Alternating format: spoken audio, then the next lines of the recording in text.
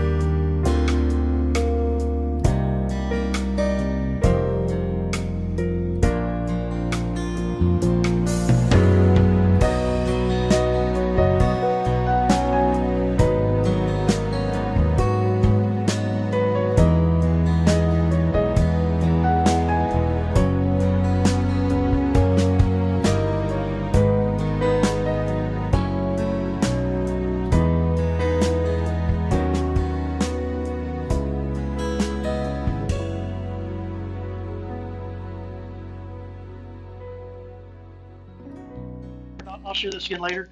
You know, he said, May this cup pass from me. Cups represent wrath. He was asking that this wrath, that he not go through it, but he said, Not my will, but yours be done. And so Jesus holds up a cup at the Seder meal, which we're going to talk about. And he says, This is the this this is the cup of the new covenant in my blood. So what was his blood doing in the cup of wrath? It was fulfilling wrath. It, his blood had paid the price for the wrath that in the new covenant there's not anymore. It's covered by the blood. We'll get into that. So the second, the next miracle, and so what we need to understand is that the reason a, a leprosy, a person had uh, had to be a Messiah to heal someone with leprosy is they couldn't touch them and they had to lay hands on some because as soon as you touched somebody, you were unclean. So uh, a priest couldn't touch someone with leprosy. That's why they had to, uh, whenever a leper was coming close to a crowd or someone was unclean, they'd have to shout what? Unclean, unclean, so people could move out of the way. The woman with the issue of blood, she didn't say that, did she? She snuck in there and just went, "Give me some of that." Okay, she had faith in it, and so so that's another another messianic miracle was to raise someone from the dead after three days, because historically there had been people raised from the dead, but not after three days. Once a person's been dead for three days, considered it's considered dead. And the body starts stinking and decaying. And there's still hope up until three days. Do you ever stop and wonder why Jesus waited to go heal Lazarus? Oh, if you would have been here, you could have done it. You realize what it says? I love that story. Another good message to preach on it.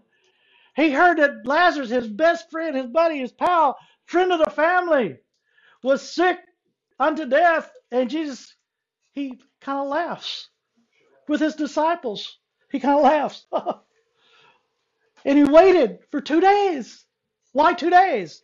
Because that was the fourth day. He showed up on the fourth day after it was impossible to be raised from the dead. And what's he do?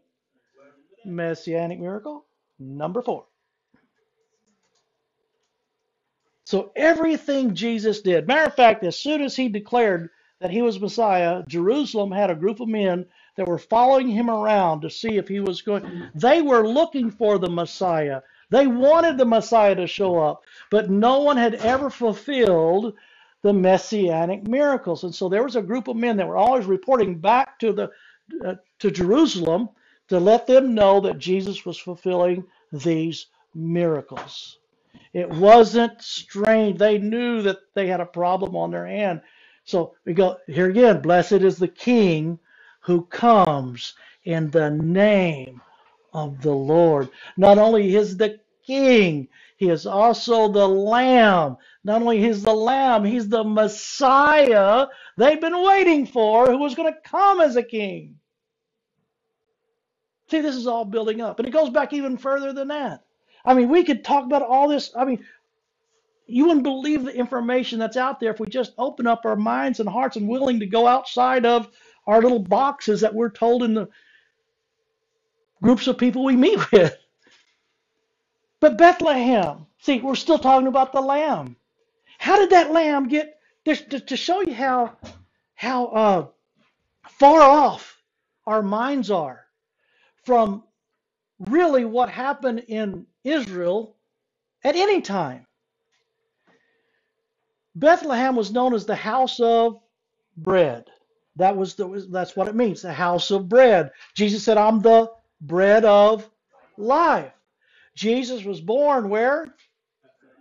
Well, sort of, kind of. We're going, and I'm not saying this to destroy your Christmas. I, I'm not saying this to, to mess up your traditions. If you want to think, if you think there was three wise men and uh, they showed up when Jesus was born, silent night. You know, if you want to believe all that, go right ahead. But the, I'm going to tell you the traditions of men make the word of God of what? No effect. So we're going to mess with your Christmas right now and go back to Bethlehem. The city of what? David. The city of David. He was the son of David. Here's something real interesting. Joy, put uh, put Matthew chapter 1, verse 17. Does anybody know the day Jesus was crucified on in, in Jewish calendar years? Nisan 14. He was crucified on the 14th of Nisan. No question about it. Whether you think it's a Wednesday or Friday, that's up to you. I'm not going to argue all that. But he was crucified on Nisan 14. Oh, Bible nerd alert. So all the generations, if you read all the generations, you can do that on your own time. So all the generations from Abraham to David are what? 14 generations. From David until the captivity in Babylon are what? 14. You can read that in, on your own. And, and uh, our 14 generations. And from the, the captivity in Babylon until the Christ are what? 14 generations. And if you take, we, we don't, please don't let us scare you in this, okay? But, but if you take the name David in Jewish, no, Jewish letters have numbers that are attached to them. Does everybody understand that? Okay. Uh, if you just you can do this on your own, look it up, whatever. The if you spell out the word and they do right to left, if if you spell out the the name David, there's three letters that spell the word David, and there's two letters that are the same number. There's a four, a six, and a four. What does that add up to? 14. 14. Just a Bible nerd coincidental thing. Just so I see, God is so precise in what He does. See, you read Matthew 1 17, you go, What's the big deal about number 14? Well, it's to identify with David, who was four, not 14 years old, but his name of value was 14. 14, 14, 14. Here's Christ, and he was crucified on Nisan what? 14. This is just fun stuff. And so we get now into Jesus' birth, and we think Jesus was born in Bethlehem, which it says he was born in Bethlehem, but not quite. This goes all the way back to Genesis. I mean, by the way, we're, we're on our way all the way back to the, the garden on this. Okay? We're put Genesis 35, I think it is. Do you know remember what it is? Genesis 3? No, no, no, no, no, no, no, no, no, no. Not that yet. Does everybody know the story of Rachel? Yep.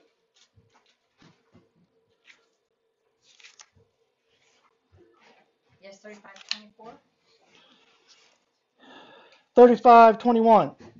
That was close. I just said 35. Then Israel journeyed from uh, journeyed and pitched to his tent beyond the tower of Eder. All right. The Tower of Eder, uh, for, for, for your sake here, uh, let's go ahead and put, uh, I don't know if we should read them or just tell you. Uh, put Micah 4 8.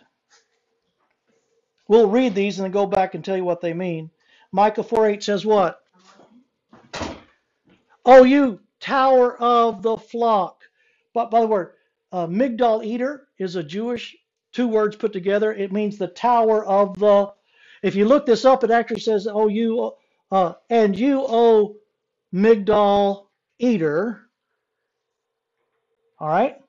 So in, and in Genesis 35, 21, go back to Genesis. Oh, let me read the the stronghold of Zion, uh, the daughter of Zion. To you shall it come, even the former dominion shall come, the kingdom of the daughter of Jerusalem. So we need to understand. There's a go to five eight or five two. Go five two. Micah five two. In my Bible, it's the next page. But you, O Bethlehem, so yeah, someone say that for me. Though you are little among thousands of Judah, yet out of you shall come forth to me the one to be ruler over. This is a prophetic word that that the Messiah was going to come out of Bethlehem, which recognitions of a place called the Tower of Eder. And in Genesis chapter 35, 21, you have a situation going on here. Turn with me to the book of Luke. We'll put all this together. Luke chapter 2. We'll give you the real Christmas story here. Does anybody remember a lady named Rachel? Rachel died, died in childbirth. She was on her way to Bethlehem when she gave birth to her last son, of course, and died. And there's actually a tomb there called Rachel's tomb. Okay, it's there right where it's always been. And it says it's going to be there. But she died in Rachel's. Uh, she gave birth and then died after she gave birth. But where did she give birth at? What we need to understand, we go, we could go back into Chronicles and show you how this is done, but but these towers, these these uh, Migdal Eders, the Tower of the Flocks, these are where they would uh, have a well and a birthing center for the lambs. There's one. Uh, this is actually a picture. Of course, it was much nicer back in the day, and this was a, a tower that would overlook the the grazing lands. It was also used for defenses and things like this to see when an enemy was coming.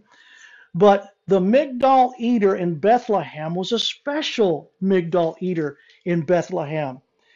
Now, this is where it's going to hopefully change your your Christmas. Uh, Luke chapter 2.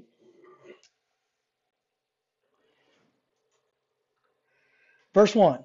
And it came to pass in those days that a decree went out from Caesar Augustus that all the world should be registered. This census first look, took place while Quirinius. yeah was governing Syria. So all went to be registered, everyone to his own what? His own city. And Joseph also went up to Galilee out of the city of Nazareth into Judea to the city of what? Because he belonged there, which he is called, which is called Bethlehem, because he was of the house of the say lineage. In this culture, if you were part of the family, you owned what the family owned. Do you understand that? It wasn't like just showing up in Parker's Prairie hoping to get a room at the Prairie Inn. You know what I'm saying? It's like to be registered with Mary, his what? Say the word betrothed. You need to under, keep. You're going to keep things in context right now. So she was pregnant, but she was betrothed. She wasn't married, but she was married, but she wasn't consummated. It was like she had not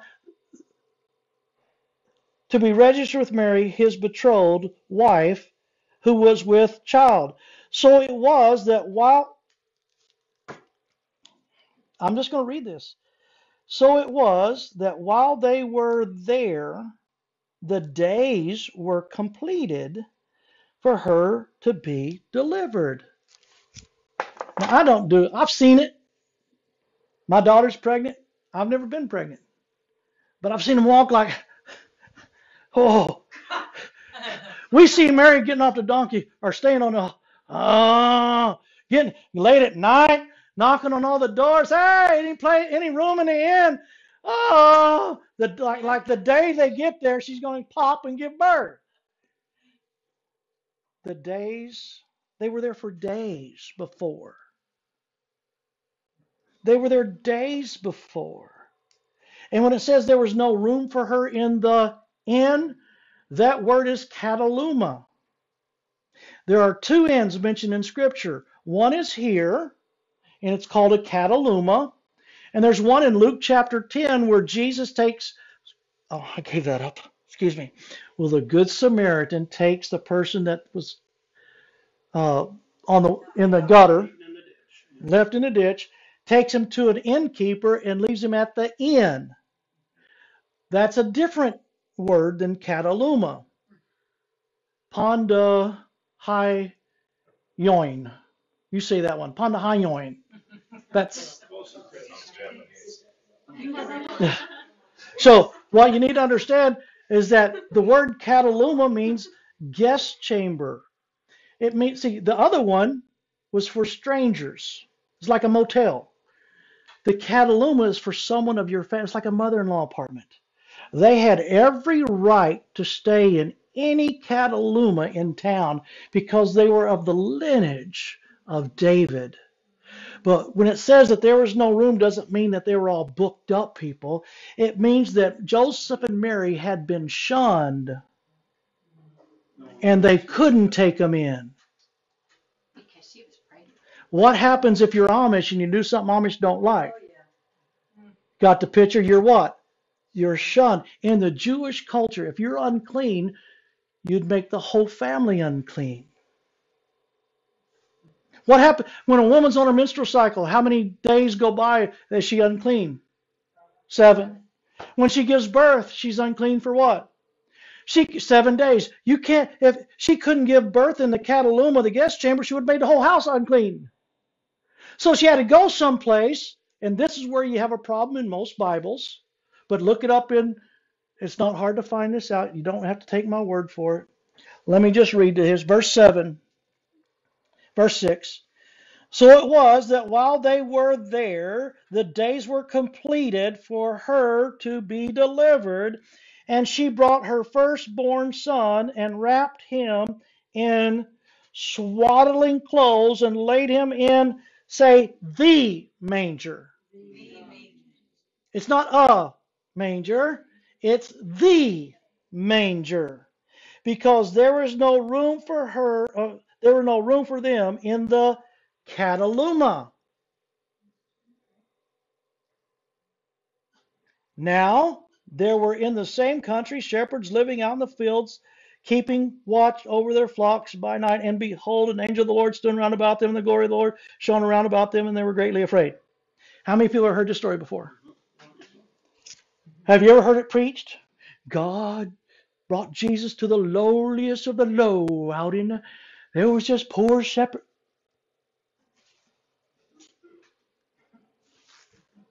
What we don't know keeps us in bondage. There was something called Levitical shepherds. Bethlehem was the outside of Bethlehem was the ranch. Say I'm from Texas, if you can't tell. We call it a ranch. There was a ranch that was known for it was the only place they raised Passover sacrificial lambs. And there was a place there called a Migdal Eder where all the Passover lambs and lambs were going to be sacrificed in the future, they were all birthed there. Every ewe, Rachel's name means what? Ewe. She was an E W E. She gave birth to the lamb. She died at the Migdal Eder, and she was buried in Rachel's tomb outside the Migdal Eder. Get the picture? This is where it's happened before in history. Now, to show you how far off we are, Jewish culture in context. Okay, these were Levitical shepherds. They had to prove they were the best of the best of the best shepherds. They had to qualify to be a Levitical shepherd. They had to take care of the Migdal Eder. The bottom floor of the Migdal Eder was a place for birthing of the lambs, and there was a place called the stall or a manger, and the room was full. Guess what? Because there was birthing going on, it was a place of what? uncleanness. Mary had to go someplace that was unclean while she was unclean to give birth, but it was full of swaddling cloth. I think everybody just carried a bunch of swaddling cloth with them. Were, I don't know, I might need some swaddling cloths one day. No, she went to a place that was known. God took them to a place that was known that this is where the Passover lamb was going to come from. That's how. I don't know if you're getting a picture of this. We look back on it now and go, oh, this is amazing. Type and shadow of good things to come. The very place that Jesus was born was in the place, the same place that the sacrificial lambs were born. To show you how far off we are in our imagination. How many days in a Jewish calendar? Yep, three sixty. 360. According to the book of Leviticus, they had to sacrifice two lambs per day. How many is that? That's 720 lambs a year. Just for the daily sacrifice, one in the morning and one in the evening, every day. How many people lived in Jerusalem and in the area? That each family had to have a lamb for sacrifice. or a turtle dove or something. So all the lambs, we're talking about tens of thousands of lambs that are no older than a year. How big is this ranch? King ranch. Yeah, King Ranch. Literally. Did you ever imagine that many lambs being slaughtered at Passover, or not just Passover, but in sacrifices for a yearly basis? Tens of thousands. Well, yeah, we're, we're thinking one or two little shepherds. No, there were who knows how many shepherds, uh, and that's just the pure, the, the perfect ones. How many weren't perfect?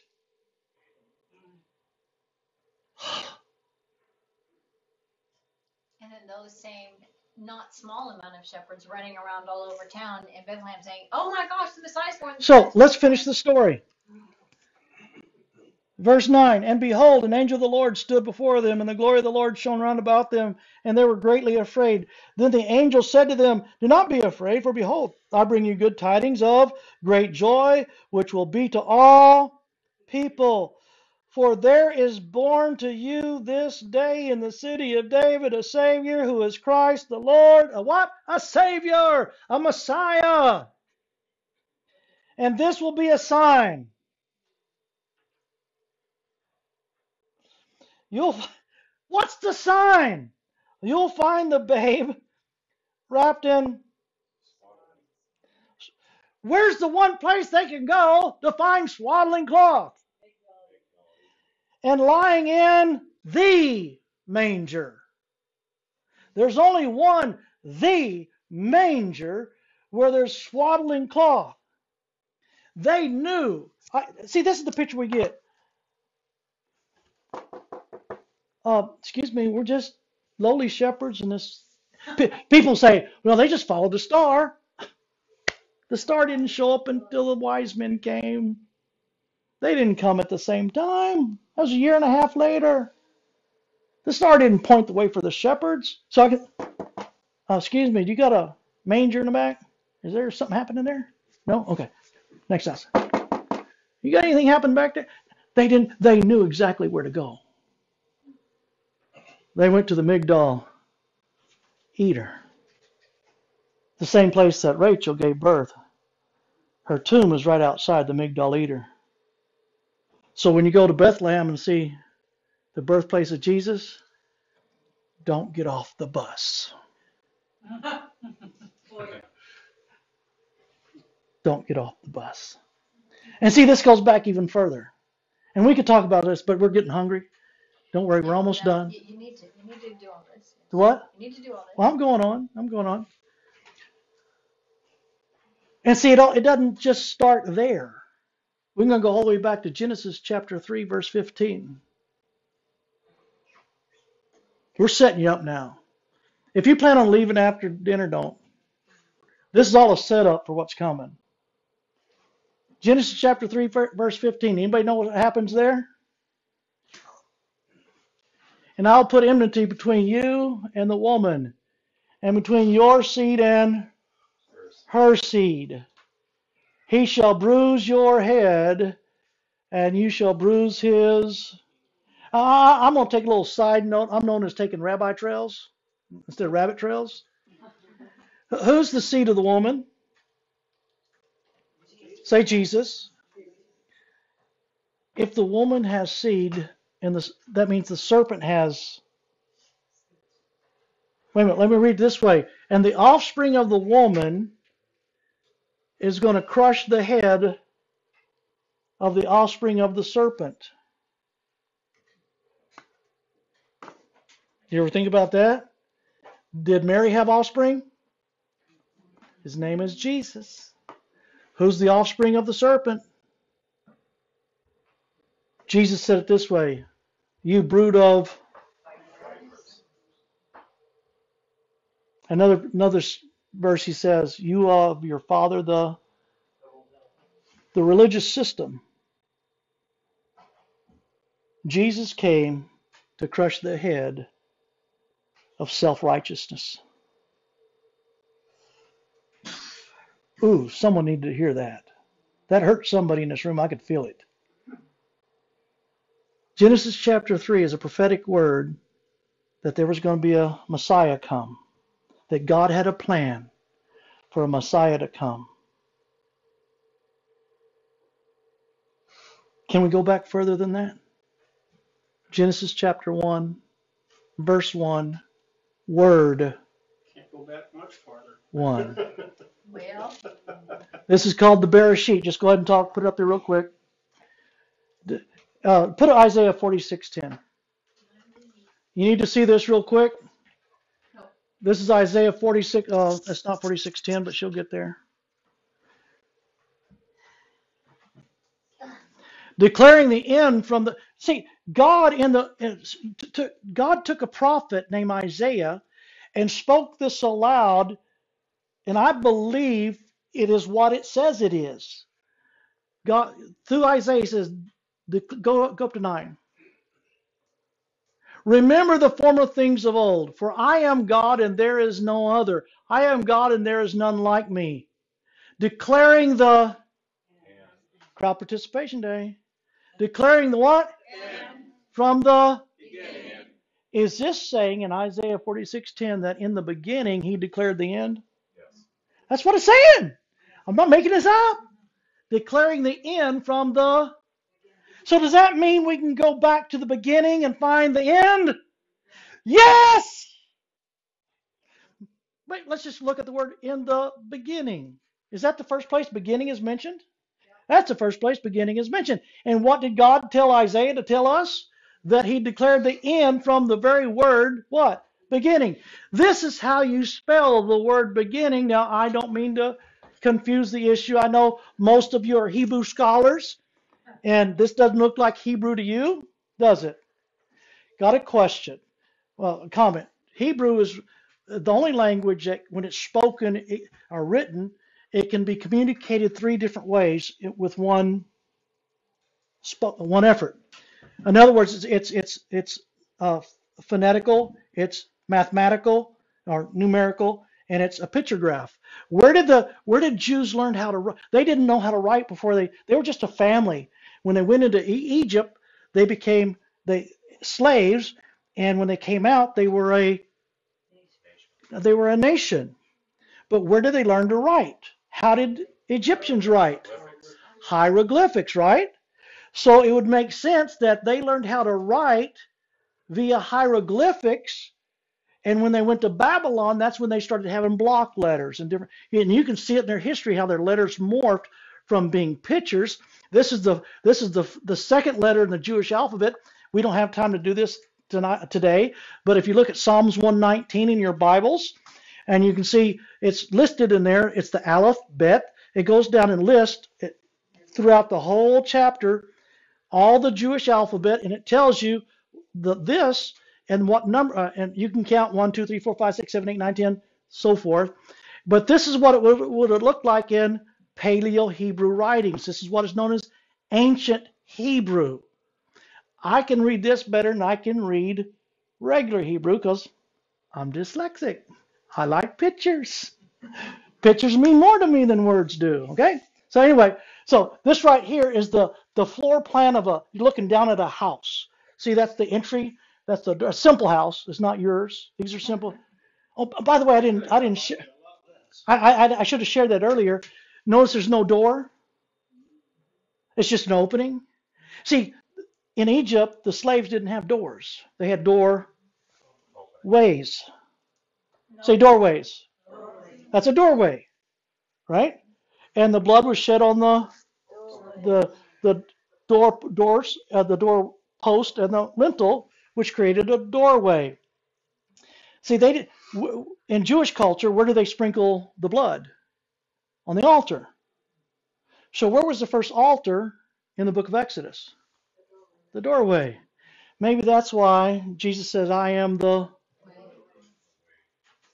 It's only through me. Oh, anyway, I like it. So th- this is th- this actually, and, and the word for the, the the descriptive words. This is a, a floor plan of a house, but it's actually the the literal word. If you were to write in, like in the beginning, in English we have the word in. Well, this is the the the word and the letter for in. So this is in beginning. They don't have a word for the, so it's in beginning. So this is the first phrase in the first book, in the first chapter, the first phrase in God's word to us. In Isaiah said he's declared the end from the beginning. They read right to left. So you have in, and then you have this figurehead here with like a crown or something of authority on his head, and that's the the. We're, don't worry, Brad. We're not going to go do the whole thing. Okay. Uh, this is Resh. All right. So this is Bet Resh. This is symbolizing of a prince or first uh, son, you might say. And why do we say son? And remember, this is the word for in, like something is in here, our dwelling, our indwelling. The indwelling, the it's what that represents. And so this is Resh, meaning son or prince. And so, but when you put these two words together, it literally spells the word bar, B A R in Hebrew, in modern day Hebrew. Ever heard of a bar mitzvah? Bar mitzvah is spelled bet resh, and then mitzvah. Got it? So, but that means son. So the word son is just confirming that someone who's in this house. The question is, who's in this house? Well, obviously it's the son that's in this house. The son of who? Or whose son is he? Well, this is the Aleph. This is supposed to be an ox head with horns. And, and Aleph, that's the first letter in the alphabet. It's also the first letter in Elohim. This is uh, this actually means I'll, I'll, do this real quick. When you put these three together, it means uh, bara. It means created. It's the in beginning God Elohim created. The word bara.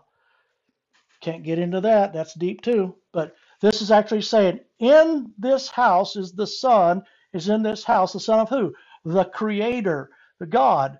So whose son who who are we talking about? Say Jesus real quick. Jesus. Okay. I was just speeding that up. Okay. In case you didn't get it, Jesus is in heaven. God's Son is in heaven in this dwelling. This is teeth. See the little. eh, Sometimes they look like beaver teeth, depending on who, who chiseled them into concrete. Well, stone. Okay. And it's the sheen. And what we understand about the sheen, everybody do this. Everybody do that. Okay. Can you do that? Any Star Trek fans we got in here? You need to smell for them. Just tape them together. Yeah, live long and prosper. Leonard Nimoy. Leonard Nimoy was a Jew. You knew that, right? He was a Jew, and he got casted in this he was going to play an alien in this movie series, and they asked him to come up with a greeting because every alien has to have a how. Special greeting. Indians go how. You know, every culture has to have some kind of greeting, and it's a messianic greeting. Leonard Nimoy, the only thing he could think of was when he was a, a child, he saw the elders in his community blessing each other, saying, and it, there's a whole blessing that they would do, But Blessing basically, basically it goes like this: live long and prosper. So it's all the blessing song out of Deuteronomy. So he said, Well, I'm going to do that in the movie. So every time he does this in any show, how many people are going around going, live long and prosper? And they don't know it. Speaking God's word on people. That's what, and, and it's actually the, the stamp. It's like if God had a bunch of cattle on thousand hills and he had a, a, a brand to show ownership, he'd, you'd have that. It's also the letter. When you see the letter, it you, you look down at Jerusalem.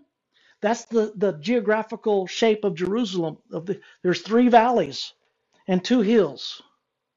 So from heaven, it looks like God put his. And you can read two You places in Chronicles. sorta- You can kind of see it a little bit here. A little bit. Yeah, yeah. See, see, here's one, here's one, and there's one. You got it. This is Gehenna.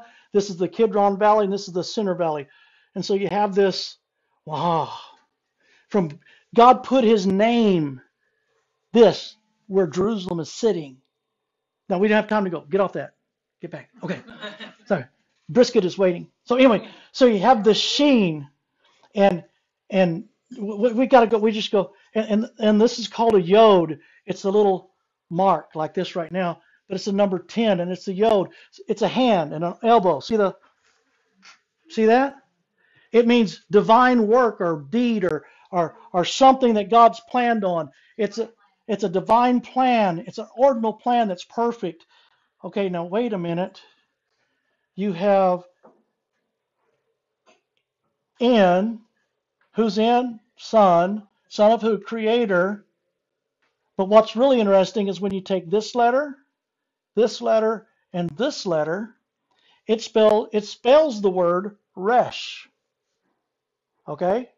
Just just bear with me. That means even though this says son, this spells the word, excuse me, this spells the word resh. Without this, is it saying that the son that was in here is no longer in here, but now he's over here? That's exactly what it's saying. Now, wait a minute. The son has come out because of this, has come out of what he was in. He has left heaven because of the divine plan that the father has had that was going to happen at a place called Tav. The last letter in the Hebrew alphabet is the Tav. The Tav. Wait a minute, it's a cross. And that's that this is pretty much the exact there's it actually looks like a stick, two cross, two sticks crossed. Like this right here. Now wait a minute. So the son is left where he was at because the father has a plan of a divine nature that was going to be established one day. Do you realize the cross was not used? The Romans invented the cross.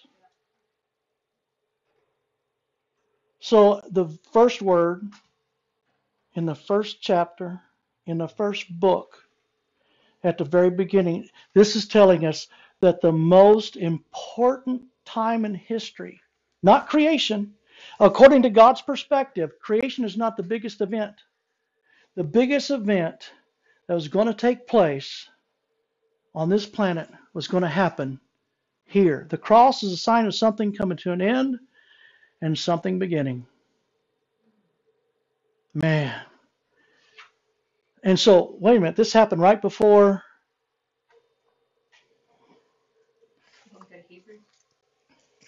And Brad, you made a mistake. No. Yeah. First one. Yeah, I'm keeping record though. I have a challenge everyone.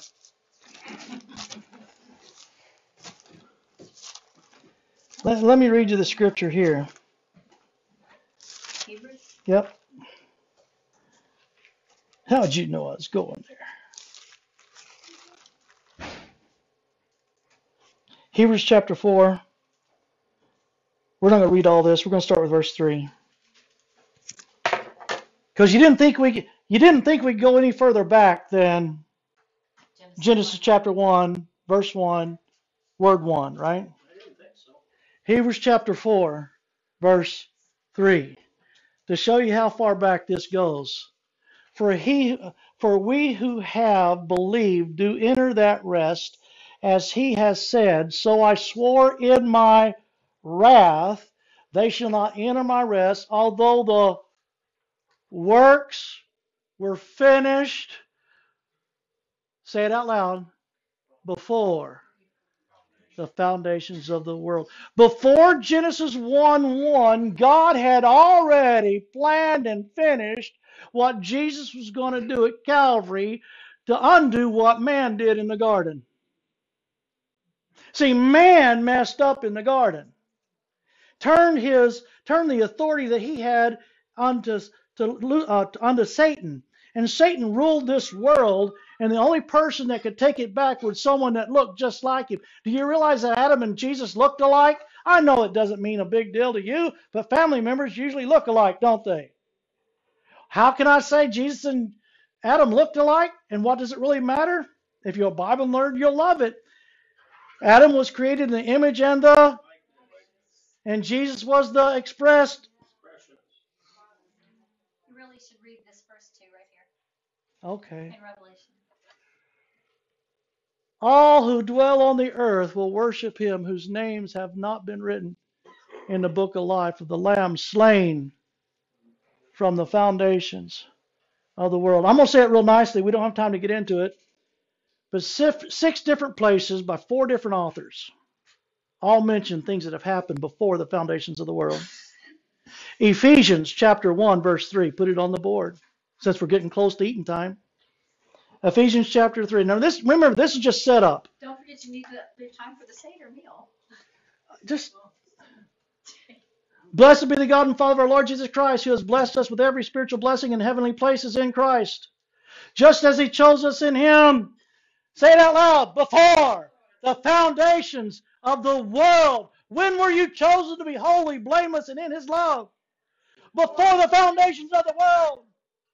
Put 1 Timothy 1 9. How many people saved? Raise your hands.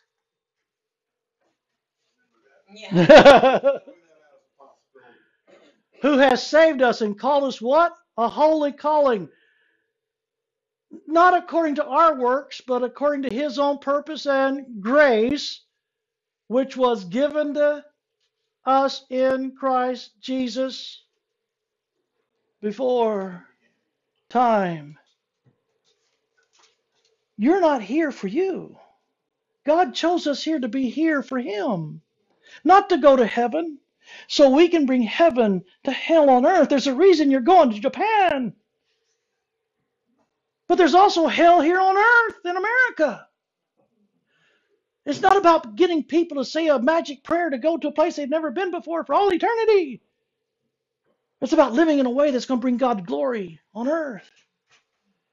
So we've gone all the way from the triumphal entry, all the way back from before time began to see that God had a plan. And resurrection, Calvary, and the Passover, and the and the Palm Sunday is all a fulfillment of what God planned from the very beginning for a Messiah to come forth as King and High Priest and Deliverer. Wow. So now we jump back into the Palm Sunday, Jesus entering the eastern gate. You have all the priests gone, tell your disciples. Now you know why they tell them Pilate's coming in this way. They're saying, Blessed is the King. They understand history. They're going all the way back. Hey, someone's going to crush the head. Yay! This is the man. He's proven it. They come in and they prepare. We're just going to jump, jump real quick. They go to the Seder meal. Does anybody been participate in a Seder meal before? Seder meal has how many steps? Say 15. 15 steps. In the Seder meal, in the middle of the Seder meal, there's something called the matzah tosh. A matzah tosh is a an envelope with three compartments in it, and each of the envelopes, the three envelopes, has a piece of matzah in it. The matzah is like a giant saltine cracker. Okay, can I just say it that way? It's it's bland. There's no yeast in it. It's pierced. There's holes in it. Uh, it's cooked on a grill, so it's striped. And Jesus said, "This is my body, which is broken for. Do this." Now, see, when you get when we get done here tonight, the next time someone says, "Do this remembrance of Him," because Jesus was telling His disciples, "Do this in remembrance of Me and what He's done, and what He's about ready to go through." We forget that part. And so they knew what this matzah was. This is the third time Jesus had a Seder meal with his disciples. And he opened up the Seder, the, the matzah. He pulls out the middle matzah, which is reserved, that it, it, it's, that is the, the, the matzah of the Messiah. Jesus pulls out the middle matzah and says, This is me. He says, I am the Messiah. He says, This is my body, which is, and we, we look at it this way Father, Son, and Holy Spirit. What? He reached in and pulled out the what? The Son. Man. And so the, the Seder meal, eh, there's 15 steps we're going to go through, but everything he did was to show everybody that he's the Messiah, even in the rituals. At the end of the supper, he took up the cup. He said, This is the cup of the new covenant. What's cup represent? Wrath. What was this cup filled with? Matter of fact, no one had ever drunk from this cup before. It was filled with blood, but what was the cup represent? New covenant, but it was the cup. Cups represent wrath. So the wrath that was in the old covenant was filled by the blood. There was no more wrath in the new covenant. Man, we need to understand how powerful all this is. And I, I know it's a lot of information, but we're going to stop and break. All this was done to set up this next half. And there's going to be music, there's going to be cheering and celebration. I hope you're not so full that you can't get out of your chair and shout Jesus because everybody else is.